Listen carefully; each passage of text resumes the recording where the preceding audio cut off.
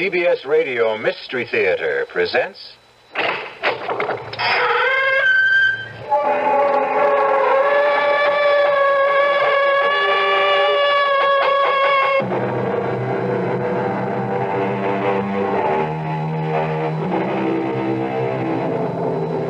Come in. Welcome. I'm E.G. Marshall. Welcome to another hour of mystery and suspense. To a terrifying experiment in supernatural power. An experiment by a retired scientist to direct his wife's subconscious mind to shoot him. She is lying on her back in the dark bedroom. He is in his study, concentrating, transmitting by mental energy his instructions. In the night table, Helen. In the night table, the gun. Pick up the gun, Helen. Pick up the gun. Now leave the bedroom and come to my study, Helen. My study. Come to my study. Gun at me, Helen. At me. Point the gun, Helen. Now, pull the trigger. Pull the trigger.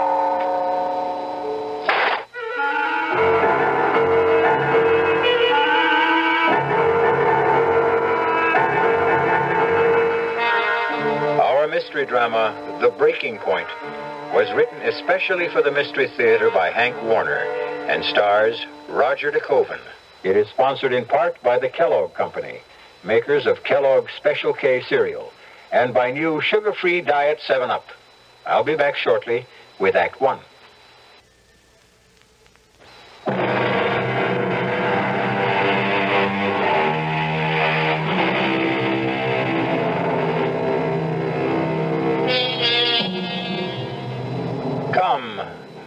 Ride with me in this ambulance, speeding through the midnight fog, across the Golden Gate Bridge to St. Francis Hospital in downtown San Francisco. As the trauma emergency team tries with plasma and oxygen to keep critically wounded Professor William Baker alive. The driver and the two doctors know that the patient must get to the operating room in minutes. Now, quickly, up this hospital corridor, as the patient is wheeled into the operating room, stand outside the door and listen as they try to save him. And maybe you'll learn what Professor Baker tried to learn about the dark mystery of life and death. Scalpel. Drop. The patient's failing, Doctor. Blood pressure. 62 over 40. Adrenaline. I can hear them trying to save me, but I'm going to die. And I want you to know that I'm dying all because I made my wife murder me. Yes, I am dying because I conducted an experiment to influence my wife's subconscious mind to the point where she was going to murder me. Listen. Listen carefully. I will tell you exactly what happened. And when I have completed what I desire to communicate, go to the police. Tell them, if you dare. I say dare. For it will require courage.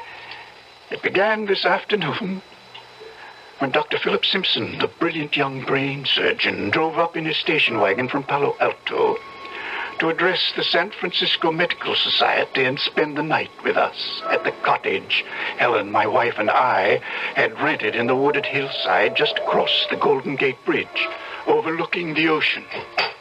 He brought Chichi, one of two capuchin monkeys he kept under observation in his research laboratory. It's good to see you, Philip. It's so good to see you, Professor Baker. So, that's Chichi. Yes, he wants to get out. Quiet down, Chi-Chi. Come on, you can come out. Hello, Chichi. oh, you want to shake hands, too, of course. Welcome, Chichi. Very affectionate. Astounding talent for mimicry. Oh, dear. Get off Professor Baker's shoulder, Chi-Chi. Come on down. he likes your hat. No, Chi-Chi. No. All right, now you've tried it on. Give it back. oh, thank you, He gets tired of wearing his black skull cap. Uh, Chi-Chi, let go of my hand. Uh, you go. You go on by yourself. He's always curious about new surroundings. Probably wants to explore that grove of trees. Well, go on, go on, Chi-Chi. He won't go far. He'll play for a while and come back. Beautiful place you have here, Professor Baker. Is Helen home? Oh, she'll be back shortly. Had some shopping in the village. She just had to have abalone for you. She remembered how much you enjoy abalone Oh, steak. wonderful, wonderful. How is she?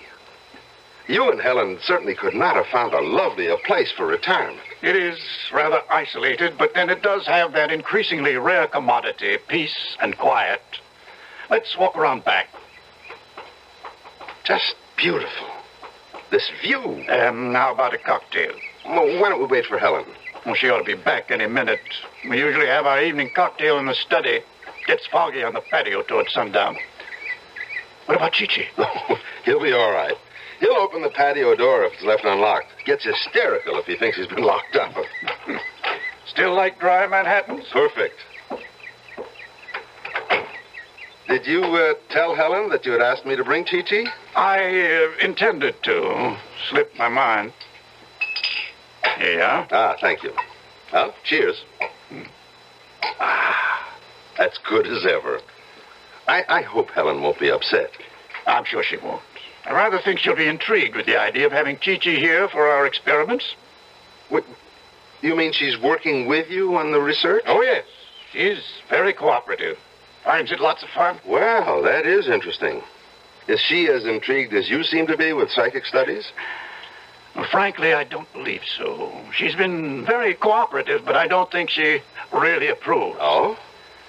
Sometimes I question the wisdom of having married at my age. Oh, come on now. I remind you, Philip, Helen is 20 years younger.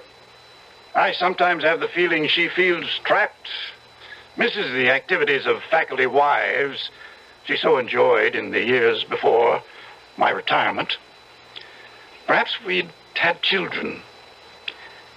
Philip, Helen should have married you when you were both graduate students. Well, there's, uh, there's, there's nothing happened between you. No, Philip, not yet, but Well, don't tell me that you, Professor Baker, an eminent physicist for 40 years, with worldwide reputation for scientific integrity, has succumbed to, to clairvoyance? And you, Philip? Do you have irrefutable proof that clairvoyance does not ever exist? Can you issue an assurance that something will not happen? Well, that's Helen now. Oh. Philip! Philip! Hello, Helen. As I look back now to that moment when Dr. Simpson and I waited for Helen to come into the house, I fully realize that the quick flush that passed over his tense face meant the one thing I had been blind to that he was still in love with her. Helen entered the room with packages in her arms. She threw them on the sofa, rushed towards him, her face glowing with pleasure, embraced him and kissed his cheek, hugged him. Oh, Philip, it's so good to see Good you. to see you. Oh, let me look at you. Oh, it's so good to see you. Neither one of them saw Chi-Chi open the door from the garden, come into the room, climb a table, and spring onto her shoulder, its furry paws around her neck. Chi-Chi, come down, Chi-Chi. Let go of her. Now, come down. There, now stay down. Oh. It's a monkey. Oh, I, I, I couldn't imagine what. Oh, all I saw and felt were hairy paws. It's all right, Chi-Chi. Oh. It's all right. Now, oh. just be quiet. Oh. I'm, I'm so sorry he scared you. He was trying to be affectionate. Yeah, well, I sure can do with a drink. Oh, Here you are, dear. thank you. He is cute, but uh, why the black skull cap? Well, you might say aesthetic reasons. Aesthetic? Or cosmetic. Philip doesn't like his little wards running around in public with their brains exposed. Brains? Exposed? Yes, that's right, Helen. The skull cap covers Chi-Chi's plastic skull. Now, I'll show you. There you are. Why, you can see its brain. It's, it's positively fascinating. It, almost unbelievable. Oh, Philip, it's brilliant. It's absolutely brilliant Wait, surgery. wait a minute, Helen. I'm just carrying on what was begun in 1948 at the Naval Medical Research Institute in Bethesda, Maryland. Really? I, I had no idea such surgery was possible that far back. Helen, my dear, there's a big gap in your knowledge of surgery. The ancient Egyptians operated on cranial bone. Mm-hmm. That's correct. Look here, Helen. Surgeons in a series of four operations removed cranial bone from the shaved head. And when the skull healed, fitted the metal ring around the edge of the skull, sealing the joint with rosin and wax. The clear plastic skull is held in place by these six steel bolts. Marvelous. Simply marvelous. Oh, it's practically routine now. Well, why was it done, Philip? Well, to study through the plastic skull, as I'm still studying, the flow of blood when the monkeys are in an induced state of shock or under the influence of anesthesia or drugs like adrenaline, histamine. And of course, reactions to cold, hunger, diet, fear, tension, so forth. Uh, incidentally, I'm, I'm leaving Chi Chi here for a while. Here? Oh, I'm sorry, Helen. I simply forgot to tell you. Yes, but why? I mean, why is it being left here? What Philip is too polite to say, my dear, is that he's loaning Chi-Chi to me for extrasensory and paranormal experiments. To make my own observations. I believe he hopes to convince me that the brain monkeys or man's fails to respond with a measurable reaction to mental energy messages. Exactly. Look, I- I'm curious. Why must the experiment be with a monkey when a dog, a, a horse? Philip understands. Don't you, Philip? Well, Helen, in the scale of intelligence among animals, the monkey has the highest ability to learn next to man. Oh, well- oh, Philip, what time is your lecture? Why, I should be at the academy by eight. Good. Give us enough time for another cocktail. And not have to rush through dinner. Uh, darling, please shake up another round. I'll take these packages to the kitchen. Well, here, here, let me carry them in. Oh, well, just just put them on the counter, Philip. Mm-hmm. Anything else I can help you with? Just show me where things are. I'll help set the table. What is it, Helen? You all right? Yes. The table. The table. What are you talking about? I said I'd help set the table. Oh, well, later. Let's let's have our drink and talk. There's so much to catch up with, Philip.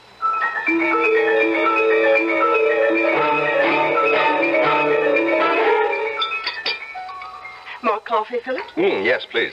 Oh, have some more of the strawberries, Philip. And ice cream. But just, just a little. Helen, what you've been telling me is hardly believable. Well, there's no room for disbelief, Philip. There's evidence. Evidence? Yes. I'll get the drawings. Excuse me. Be right back. They're in the study. I don't like it, Helen. Do you have these dizzy spells often? Well, they, they've been more frequent recently. Well, you should stop participating in such experiments. I'll talk to Willie. Oh, please don't. Please. Here we are. Philip, look at these rough line drawings. Do they suggest recognizable objects? Hmm. Well, this this might be an apple, I guess. This, uh, well, suggests a knife. I can't see anything in this one. Meaningless lines. Yes, that one is meaningless. Note the dates on the drawings. About a month ago, I sat at this table with three objects in my hands an apple, a knife, and a salt shaker. Helen, was stretched out on her back in the bedroom, her mind clear of any thoughts or feelings, awaiting my energy message. She could not hear me. She could only receive my thoughts, my instructions. I sent a message for her to pick up the pad and pencil on the night table. I sent an energy message telling her I was holding an apple, a knife, and a salt shaker, and for her to draw them. She got two out of three. You ask me to accept this as evidence that you can control the actions of the mind of a person who's out of your sight, out of the sound of your voice, even physically in another place? Oh, I call it coincidence, accident. It did happen, Philip. In many other experiments we did together. It took me months of training to achieve a state of receptivity. Well, that's all very interesting, but I'd better soon be on my way to the academy. I can see you're still skeptical. Can you spare three more minutes for another, as you say, interesting experiment now? Right here with Helen? With Helen? I'd rather not. I don't mind, Philip. All right, very well. Thank you, Helen. Lie down in the bedroom. I'll give you two minutes to achieve receptivity. I will repeat once more, Helen. Come back, pick up the coffee pot, and pour the coffee right on your fine lace tablecloth. You're not going to let her. No, this gong will stop her. More coffee, Philip? Uh, well, I, I really should be going. Oh, yes, before the bridge traffic gets heavy. Here, I'll help you carry these things to the kitchen. He followed her into the kitchen, carrying a tray. The brilliant Dr. Simpson had been puzzled. Are you all right? He had asked her. Dr. Simpson, who recognized only the physical laws of matter, had asked, Are you all right? But she wasn't all right. Dr. Simpson didn't know then what the trouble was. But late that night, when he returned from his lecture, he found out about the experiment that was underway with the loaded gun in the night table.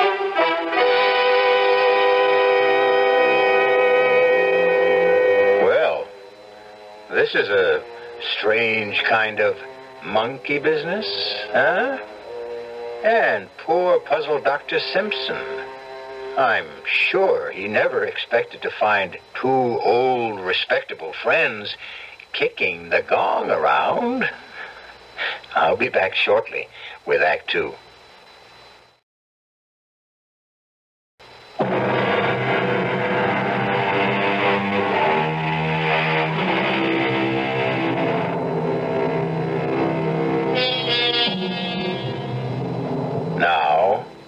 Clear your mind and listen with a blank mind, and maybe you will intercept the next mental radio message Professor Baker has prepared for Helen. Ready? Helen didn't wait up for Dr. Simpson to return. I waited in the study, dark but for the small lamp on my desk, and still, except for the soft breathing of Chi-Chi asleep in the shadowy corner of the sofa. I waited and read until I could be sure that Helen was sound asleep. I unlocked my desk and took out the one notebook I kept hidden from her and made an entry. The experiment is beginning to show results. Today, Helen reacted with an unmistakable manifestation of dizziness and mental depressiveness when Dr. Simpson mentioned the word table. I am convinced that the subject has reached the stage of complete susceptibility and receptiveness. Then I continued the experiment. I stared in the direction of the bedroom door and concentrated. I shut out every sight and sound and thought until I was oblivious to everything but the task at hand. Helen, there is a gun in the night table. In the night table, Helen. In the night table, a gun, Helen. In the night table, a gun. Helen. Professor Baker. Yes? What? What are you doing? Experimenting. Where's Helen? Lying down in the bedroom. Close the door, won't you? Professor, what is this experiment? It's a very simple experiment. I'm trying to reach a mind. Now, if you'll excuse me. Helen, there is a gun in the night table. Stop it. Stop. Why, you're shaking, Dr. Simpson. What are you up to? I'm simply trying to tell Helen there's a gun in the night table by her bed. And for her to. To what? To pick it up, enter this room, point the gun at me, and pull the trigger. But why? Why? What I'm trying to determine is whether one mind can influence another by exerting mental energy to do something the subject would normally recoil from doing. Yes, yes, go on. In Helen's case, I'm sure that in her conscious hours, she would never even entertain the thought of shooting me. I'm trying to determine whether she can be made to do just that without her being aware that she is being impelled to do so. But why? What, what would it prove? Prove? Don't you see? If one mind can control another across space, think of the power men of goodwill can exercise over evil. It will at long last give man control over the rapacious breed that makes civilization a nightmare. The evil, power hungry men who brainwash their countrymen into one war after another. Uh, Professor, how long has this been going on? For weeks. Every night. You recall Helen's depressiveness this evening? When you mentioned the word table? Uh, you mean. Yes. The reaction. Results. My mind is beginning to control her subconscious. You. You witnessed it, Philip. And now, have you the scientific integrity and the courage to witness the experiment carried through? I have conditioned her to come in when the clock strikes midnight. In a few minutes now. What? What do you mean? Do I have the courage? Yes. To stand by and not interfere when or if she's about to pull the trigger to kill me. You.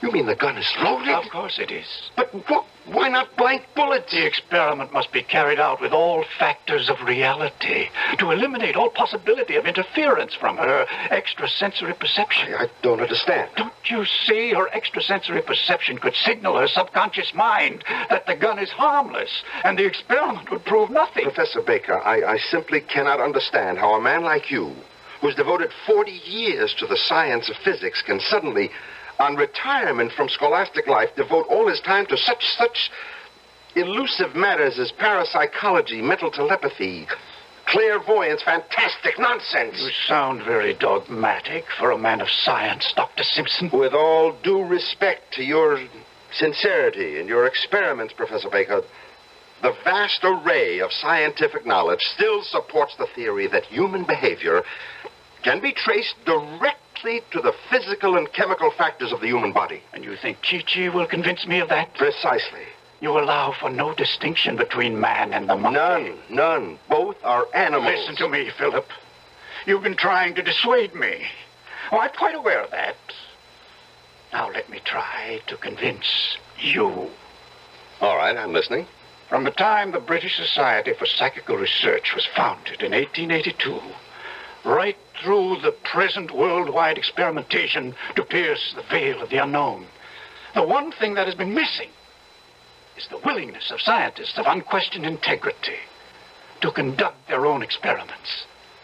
The time has come, Philip, for researchers like you and me to settle once and for all what is or is not possible, is or is not true in paranormality. If I consent to witness your experiment, will you promise me that if it fails, tonight, now, you will never again experiment with Helen's mind? Yes. But, Philip, I can see you're still afraid that the experiment will succeed. and that she could shoot me. I'll put you at ease. This gong that stopped her from pouring the coffee on the table. Here, you hold it. And if you think the situation warrants, strike the gong. Very well. Proceed. He stood by the door of the study, one hand holding the brass gong by its silk braid, his eyes watching the clock on the mantel as it started to strike midnight. Chi-Chi, awakened by the clock and our raised voices, was nervously pacing back and forth across the top of the back of the sofa. Philip watched the door. I sensed he was prepared if Helen failed to respond to the gong. He would strike the gun out of her hand.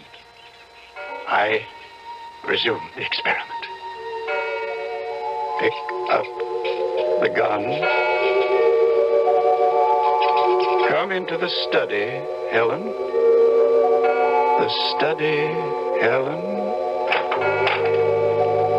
Helen walked in, her eyes fixed and staring, her arms at her side, her right hand slightly behind her, Philip mouth open, unable to utter a word, watching her. Point the gun at me. Pull the trigger. Dr. Simpson dropped the gun. Rushed to me as I slumped over the desk. Good God. The bullet hit my chest. Helen! Towels, adhesive tape. It's a chest wound. Have to keep him from sucking in air. He looked up from examining the wound. One glance told him she didn't hear or understand. He ran to the bathroom, got towels and the tape. Helen, call an ambulance. He moved me to the couch, pillows under my head, ripped open my shirt, pressed the towel on the wound, taped my chest to keep the pressure on the wound. Call the ambulance, Helen. She didn't respond. He seized the phone. Put down the phone, Philip. Helen. Helen, why are you pointing the gun at me? Put down the gun. She lowered the gun to her side. He went to her. My eyes closed. I struggled against the blackness flooding my mind. I struggled as the blood trickled from my wound to listen. Helen, don't you hear me? Answer me. Answer me. Did you slap me, Philip? Helen, do you know what you've done? What have I done? You've shot him. Who? Your husband, Professor Baker. We- We've got to call an ambulance, Helen. His pulse, his pulses. Will. Will he live? The ambulance, Helen. He won't live, will he? I can see it in your face, Philip. He won't live. He'll die if he doesn't get to the operating room. I want him to die. What did you say? I want him to die.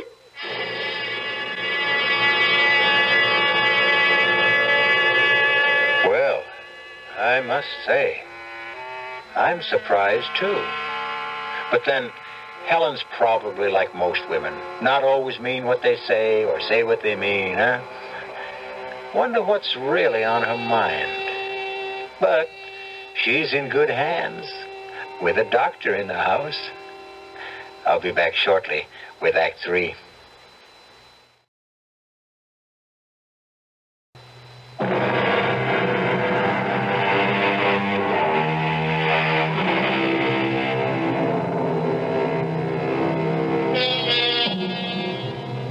Well, it does seem we left both Helen and Dr. Simpson in a state of shock. Not to mention our bleeding Professor Baker and that hysterical Chi Chi. Let's rejoin them and see whether there's help for any of them. I do want him to die. Listen to me, Helen.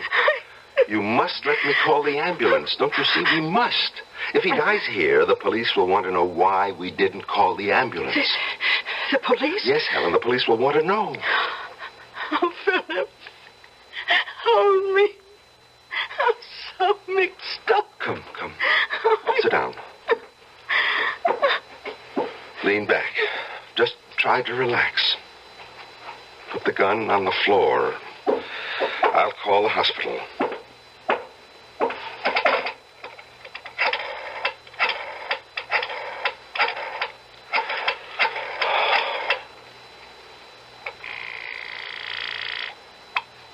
St. Francis Hospital. This is Dr. Philip Simpson. Yes, Doctor. I need the ambulance trauma team at once. 47 Edgecliff Road. Critical chest wound, gunshot. Yes, Doctor. I'll put it right through. Now, now, I want you to call the police, Helen. The, the police? Yes, they'll be here soon anyway. They're always alerted about requests for an ambulance. But I want you to call them for the record. It will be important at the trial. I'll get them on the phone. You talk.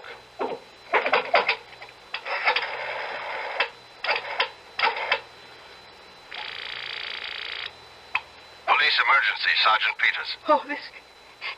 This is Mrs. William Baker, 47 Edgecliff Road. I want to report that I just shot my husband.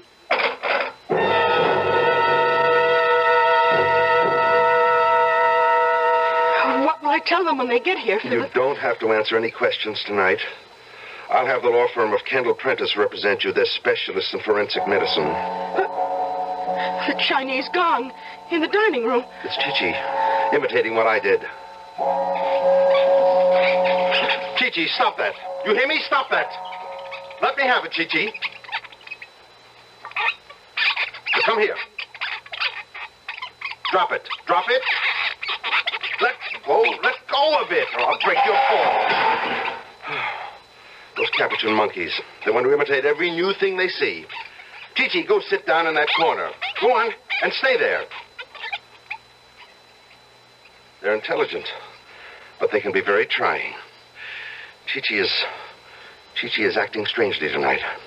Usually obeys a command immediately. Well, perhaps Chi-Chi's nervous system has been affected by, by what's happened here. Perhaps its brain has intercepted some of William's energy messages. Nonsense, Helen. That's impossible. I mean, Chichi can sense excitement and tension in a room, but as for intercepting Professor Baker's energy messages, uh-uh. I, I better check his pulse. It's weak. Very weak. What's keeping that ambulance? Philip! Chi-Chi's got the gun! Chichi! Chichi! Let me have that gun. Now, Chichi, now you be a nice boy. Put, put the gun on the floor. Good boy, good boy. Thank you, Chichi. Thank you. Now go back in the corner and please stay there. I'll put the gun in the desk. I think we both need a brandy. Would you like one, Helen? Yes, please. Here, dear. Now just just sip it. Tell me, Helen. Did did you know what you were doing when you pulled the trigger? Well, what, what do you think, Philip? I don't know what to think yet. You've got to tell me, Helen. Did you know what you were doing? You pulled the trigger after I struck the gong. Yes, I know. You you knew? You deliberately murdered him. Murder? I shot him because he told me to. He made me do it. But if you knew, if you knew what you were doing, the police will call it murder. Look, I, I told you I knew what I was doing, but I won't tell the police What what will you tell them? That, that the experiment, the, the great Professor Baker's experiment, was a success. Wait a minute, you knew about the experiment? You knew? Yes, every step of it. I knew about the notebook. I read every entry, every day. I knew exactly what he was up to. The, the police will read the notebook and they'll understand. They'll understand. You murdered him. Helen. I, I never loved him. I was beginning to hate him. It doesn't matter now, Helen. I prefer to conclude that you did not know what you were doing, that the experiment did unbalance your mind. I think the district attorney will accept that. Eh, Except what, Philip? That when you pulled that trigger, it was insanity. Oh, no. No, I won't be declared insane. No, no, no. Look, I'll show them the notebook. They'll understand. They'll read it in his own handwriting. How, how night after night, while I was asleep, he, he tried to make me shoot him. They'll understand. Unless you tell them differently. Unless you tell them I murdered him. Helen, Helen, please listen to me. Try to understand what I'm telling you. The police will never believe that Professor Baker's experiment was a success. They'll call in scientists to testify that no such thing is possible. They'll suspect that you used your knowledge of the experiment to kill your husband. Yes, but you, you were a witness. You can verify what happened. Yes, but the. You tell them that I murdered him? No. No, no, no, Helen. Oh. The only honest opinion I can give them is that your mind snapped. Oh. That day by day, the knowledge of your husband's secret experiment preyed on your mind, and you became convinced, in a moment of temporary insanity, that he really wanted you to kill him. Will, will they believe that? I hope the jury will.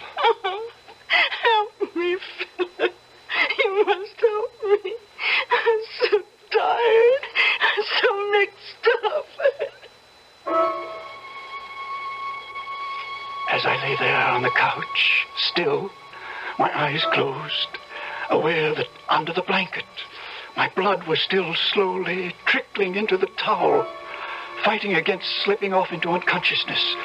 I could still hear their voices as from a great distance. You must help me.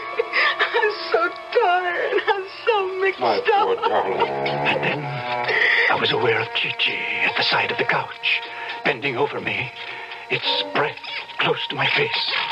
My eyelids, heavy with weariness, lifted slightly, and through the thin slit of vision, I saw Chi-Chi's plastic skull.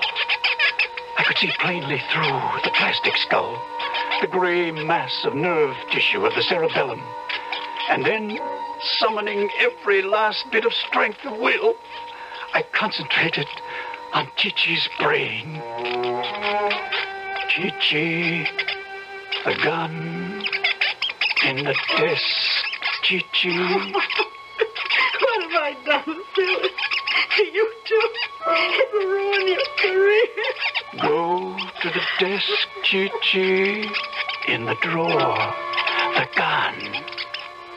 I could see its gray eyes staring at me, trying to grasp what I was telling him. And then he jumped on the desk, pulled open the drawer, and took out the gun. Chi-Chi! Put it down, Chi-Chi! Philip charged to the desk. Chi-Chi eluded him, leaped to the mantel over the fireplace. Drop the gun, Chi-Chi! Drop it! Philip chased it all over the room, knocked over table lamps. It jumped to the hanging ceiling light fixture, waving the gun playfully. Chi-Chi, point the gun at the mirror. At the mirror, Chi-Chi. Drop it! Drop it! Give me the gun, Chichi. At the mirror, pull the trigger. Give me the gun, Chichi. Helen was reaching towards Chi-Chi. Chi-Chi was pointing the gun at her. I didn't want Helen to die. I summoned every last ounce of will and sent a mental message to Chi-Chi. Drop the gun, Chi-Chi. Drop the gun. Look out, Helen! Good Lord. Helen. Helen. Answer me, She Helen. didn't have a chance. She was shot in the head. Oh, oh, my darling. Darling. Oh, my darling. You must not die, Helen. You must not die. Helen, I love you. Oh, my darling. Chichi was at the door at the garden in panic, trying to open the door, the gun still in his hand. Philip grabbed the fireplace poker, swung it on Chichi's plastic skull. It glanced off and fell out of his hand. You! Philip picked up a chair, threw it at Chichi with all the strength of his fury. It crashed through the glass. Chichi jumped through the opening. Philip picked up the poker, went after Chichi. I could hear Philip chasing him across the flagstones of the patio. I heard the police car. I could hear Philip shouting. Chi-Chi!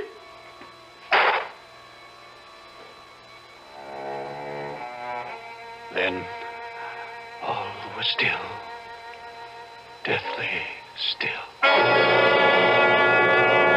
lost consciousness until I became aware of someone talking on the telephone. Yes, Lieutenant. Two dead. Mrs. Baker in the house, and the Dr. Uh, Philip Simpson in the woods back of the house. Yeah, one bullet in each of them. John says Dr. Simpson was pretty far gone when he found him. Says he tried to tell him something. John thinks it was something about uh, a monkey still running around out there with a loaded gun. It beats me too, Lieutenant. No, no, nothing else. Oh, yes, uh, we found a black skull cap hanging on the chandelier. That's what I said, skull cap. Odd shaped thing. Can't figure out what it's for, no. Right. Oh, better get that ambulance out here fast. Professor may still have a chance. Here it comes now, Lieutenant.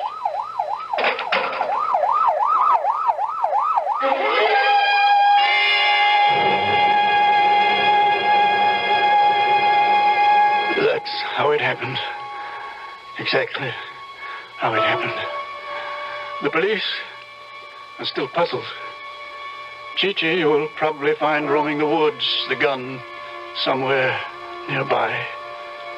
Chi-Chi did it. Tell the police Chi-Chi did it. Why? Perhaps it was mimicking Helen after it witnessed her shooting me. I shall never know. As as for whether my wife murdered me willfully or suffered temporary insanity or was influenced by my mental energy, you must judge for yourself after you read the full record of the experiment in the notebook. Yes. Go tell the police and Professor Seligson. You can locate him through the American Society of University Professors. Tell them I decided to communicate the foregoing just an hour ago when I heard the operating team give me up.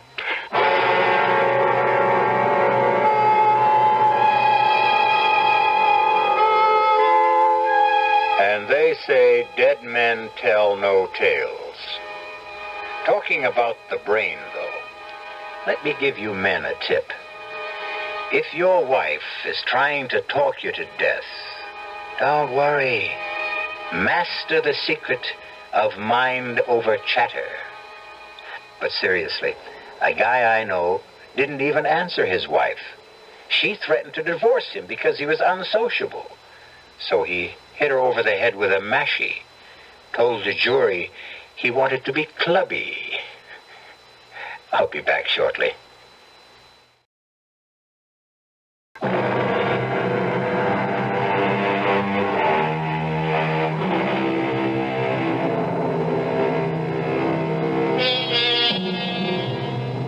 A word of advice, folks. When brain fatigue threatens and mental strain upsets you, why not settle down beside your radio for another relaxing hour of suspense and adventure in the complimentary season seat reserved just for you in our Radio Mystery Theater. And oh, yes, bring your friends. The seats are on the house. Our cast included Roger De Koven, Bryna Raeburn, and Nat Polen. The entire production was under the direction of Himan Brown. And now, a preview of our next tale. Mr. Perry, I agreed to visit you in your cell on two conditions. A, it would be kept secret. B, I would do nothing that's foreign to my principles. Of course, of course. Mr. Perry, I find you a thoroughly despicable person. I've heard that before. You make your money from narcotics, gambling, extortion, and you're a murderer. They could never prove that in court. Till now. But it looks as if they've got you finally. They have you cold for the murder of Paul Grover. Yeah, well, that's why I wanted to see you, Congresswoman. I thought you'd want to do the right thing.